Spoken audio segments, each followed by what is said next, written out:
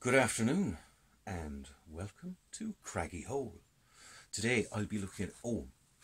As you can see the chart I made up a few years back is here which has been photographed many times over the years by various scholars and tourists and to explain briefly it seems to have started as a sign language perhaps. It is hard to tell but it certainly can be used as a sign language.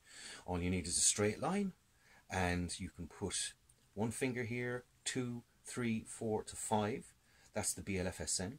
And then the other side now, you would have the next Aicme, which is HDTCQ or K in this case. And then of course you have the diagonal figures, one, two, three, four, five, and the vowels A, O, U, E, I.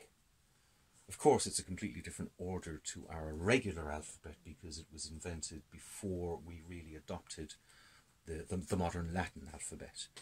So, how do you write it and how do you read it? I shall tell you. For example, now, on my bone breaker, you can see now, I think just about, yes. So, Ogham is most unusual. You don't read it from left to right ordinarily unless you're doing it on a straight line. But uh, generally speaking, back then it was from the bottom up. You see, all the characters relate to different trees. So the way we read Ogham and write it is very much like climbing a tree. Start at the bottom and go up. In this case, you can see what I've written here. Oscuelga is Vrish Nknav which means break the bones. It's like instructions for use and would have often be used in the early medieval period.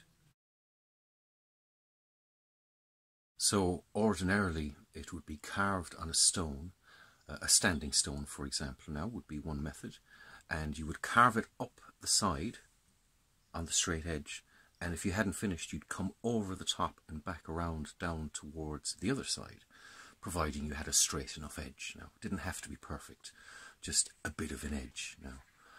But um, also it could be used on smaller Ogham stones now for burial purposes. Uh, sometimes small round ones like um, in North Kerry, now near Dingle, they have some fine examples of what are essentially gravestones. So, graves or land demarcation.